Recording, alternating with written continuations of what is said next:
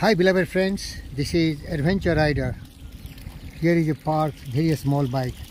But I have all the series of Suzuki V-Strom, the biggest bike, the most powerful bike and the most affordable bike.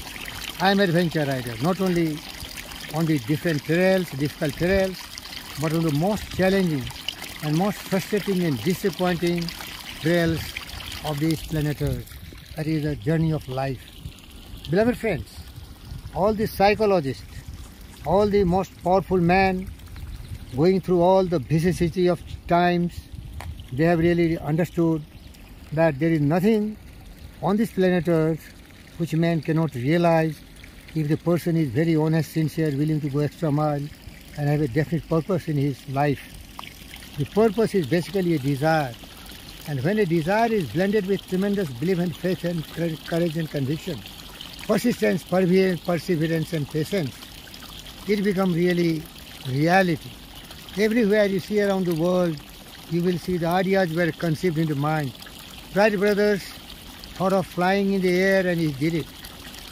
Henry Ford thought of discovering a machine which can replace hog, horses and buggies, he did it.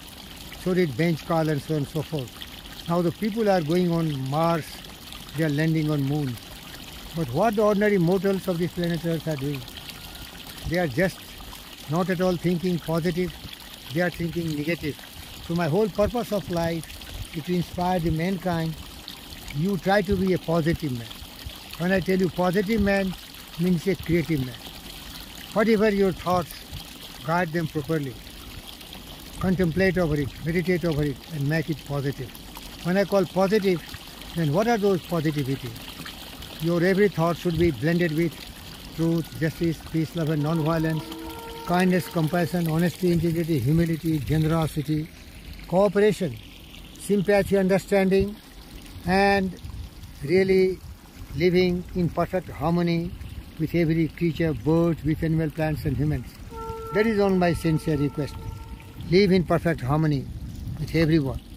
Never allow greed, anger, hatred, jealousy, cynicism, and your self-gravitation, self-gratification attitude to really become destructive and go for wars, go for hate and greed. That's why I tell you, you become what you think about. Think positive, think growth, think health, think prosperity, peace, harmony. Thank you viewers.